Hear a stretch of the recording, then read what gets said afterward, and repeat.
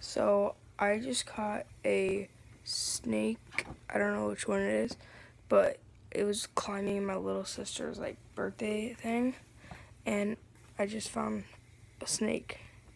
I don't know what to do. Like, do I pet it, grab it, or something? It's like I don't know what to do. Like, do I call someone? Like, he's the one who spotted it. Yeah. But like, yeah, we just seen this, and it's like, what the heck?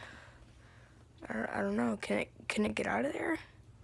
I'm I'm gonna close it up for right now, but you know, this is like, Wait, you should pet it. huh? You thought? Should you I? Should. You should. Should I? You should pick it up. yeah. Oh dang, Dude, don't kill it.